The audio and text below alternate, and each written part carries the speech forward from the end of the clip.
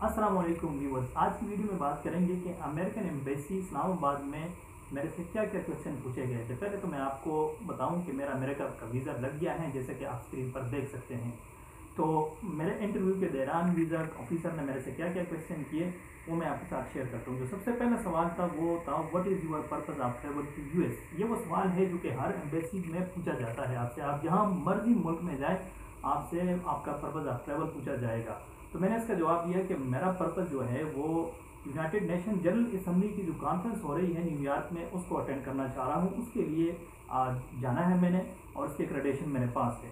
جو next question تھا why do want to attend U N General Assembly meeting یہ meeting کیوں آپ اٹینڈ کرنا چاہ رہے ہیں؟ میں نے کہا کہ پاکستان جو ہے وہ بہت زیادہ ورنلیبل ہے کلائمیٹ چینج کے افیکٹ اس پہ بہت زیادہ ہے کہ فلڈز آ رہے ہیں ڈیزاسٹرز آ رہے ہیں، تو میں پاکستان کی نمائندگی کرنا چاہتا ہوں، پاکستان کی آواز اٹھانا چاہتا ہوں وہاں پہ کلائمیٹ چینج کے حوالے سے۔ جو نیکسٹ کوشچن تھا do you have any family members or friend in U S U S میں آپ کا کوئی فیملی ممبر یا کوئی دوست ہے؟ میں نے کہا جی بالکل نہیں ہے، جس طرح میں نے فارم میں لکھا ہوا تھا۔ جو نیکسٹ کوشچن تھا have you to any other country for such conferences ایسے کانفرنس کے لیے کسی اور ملک بھی ٹریول کیا ہے؟ میں نے کہا ہاں جی بالکل کیا ہوا ہے۔ جس طرح میں نے فارم میں لکھا تھا کہ میں سعودی عرب گیا ہوں، میں فلپین گیا ہوں۔ تو یہ کنٹریز کے بارے میں پوچھا میرے سے۔ نیکسٹ کوشچن اس کا تھا آر یو میریڈ میں کہا ہاں جی میریڈ ہوں۔ What is the name of your wife جو جس طرح میں نے فارم میں لکھا ہوا تھا، میں نے بتا دیا۔ Next question do you have any children میں کہا ہاں جی بالکل ہے۔ کہتے ہیں بچے کا نام کیا ہے بتا دیا یہ وہ کوشچن تھے جو فارم میں لکھے ہوئے تھے، وہ صرف کاؤنٹر چیک کر رہا تھا۔ اب پہلے کوشچن پہ وہ اگر سیٹسفائی ہو گیا تو باقی صرف کاؤنٹر چیک وغیرہ کرتے ہیں۔ پھر اس کا پتا how often your newspaper publish آپ کا جو نیوز پیپر ہے، وہ ڈیلی پبلش ہوتا ہے ویکلی ہوتا ہے ویکلی ہوتا ہے۔ ایسے میں نے مینشن کیا ہوا تھا۔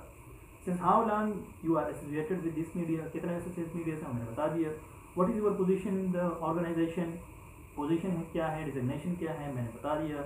Who will bear the expense of your trip بہت ہی امپورٹنٹ کوشچن ہے یہ ہر جگہ آپ سے پوچھا جائے گا کہ آپ کا خرچہ کون اٹھائے گا میں نے کہا جی امپلائر اٹھائے گا تو بات یہاں پہ ختم کر دی امپلائر نے مجھے ایک سرٹیفکیٹ دیا تھا اس میں لکھا ہوا تھا کہ ہم سارا ایکسپینس کا ہمارے ذمے ہے ادر وائز آپ کو بینک اسٹیٹمنٹ اور پتہ نہیں کیا کیا پروف دینے پڑتے ہیں شو می یور کریڈینشیل اس کے بعد اس نے میرے سے میرا آرگنائزیشن کا کارڈ مانگا اور کارڈ لینے کے بعد وہ چلا گیا کسی اور پولیس کے پاس۔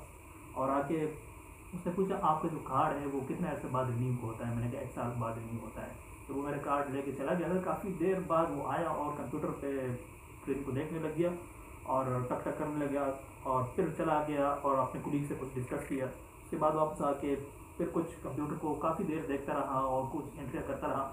آخر میں جو جتنے بھی ڈاکومنٹس میرے سے اس نے مانگے تھے وہ سارے ایسے پھینکنے لگ گیا اور صرف میرا پاسپورٹ رکھ لیا اور D S one D one six zero جو فارم ہے ان کا وہ رکھ لیا اور ساتھ میں ایک پیپر مجھے پکڑا دیا کہ آپ کو ویزا اپروو ہو گیا ہے، ہم آپ کا پاسپورٹ رکھیں گے فردر پروسیس کے لیے اور دو دن بعد مجھے پاسپورٹ ویزا لگا ہوا مل گیا۔ وہ یہ وہ کوشچن تھے جو میرے سے پوچھے گئے تھے۔ آپ لوگوں میں بہت سارے جو انٹرویو دینے جا رہے ہیں کافی کیورس ہوں گے کہ کیا کیا پوچھا جا سکتا ہے۔ تو میں کہا آپ کے ساتھ شیئر کر دوں، کیا بتا آپ کے لیے ہیلپ فل ثابت ہو؟ تو ویڈیو اگر پسند آئی ہو، ویڈیو کو لائک، شیئر کیجیے گا اور میرے چینل کو سبسکرائب کیجیے گا۔ میں آپ کو مزید ٹپس اور معلومات دیتا رہوں گا۔ دعا میں یاد رکھیے۔ اللہ حافظ۔